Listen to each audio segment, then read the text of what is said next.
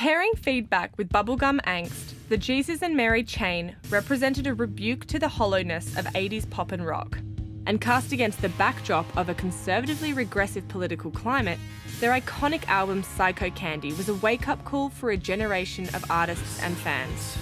Melding a disparate reverence for 60s girl groups, the Rolling Stones, and German industrial music, the album was hugely influential in shoegaze, noise rock, and modern indie as a whole.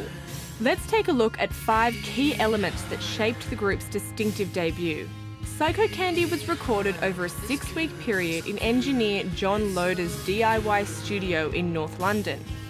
Although a far cry from an established space, the studio had a reputation in the underground punk scene.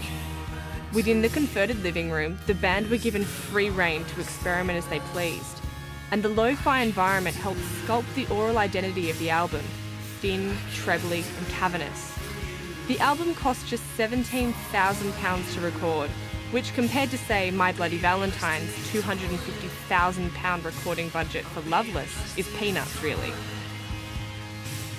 Psychocandy's use of reverb and mic placement helped capture one of the album's most distinctive features a sense of distance, austerity, and desolation, which magically offset its sugary pop heart.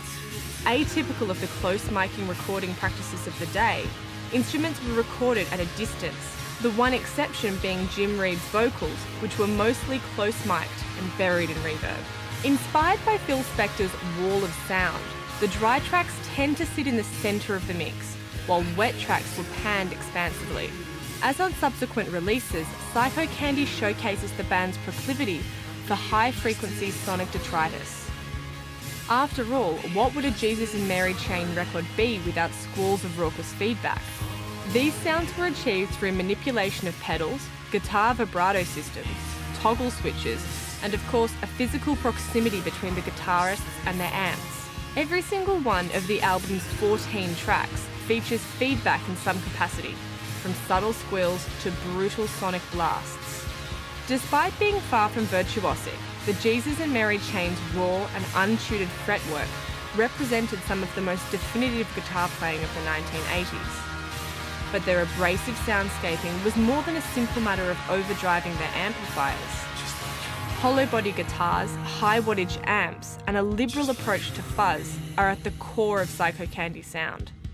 The band favoured Gretsch, Gibson, and Guild hollow or semi hollow guitars, Fender twin reverbs, and the key to their sound 1970s Shin-ei fuzz wah pedals. The final defining element of Psychocandy is the thin, cavernous drum sound that pervades the entire album. On loan from his new band Primal Scream, Bobby Gillespie was the man behind the action.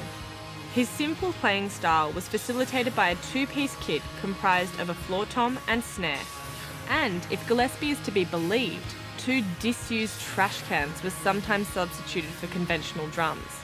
In a 1998 interview with Melody Maker, Jim Reid reflected that Gillespie was the worst and the best all rolled into one, and that's exactly why they loved him. What's your favourite element of the Jesus and Mary chain sound? Tell us in the comments below.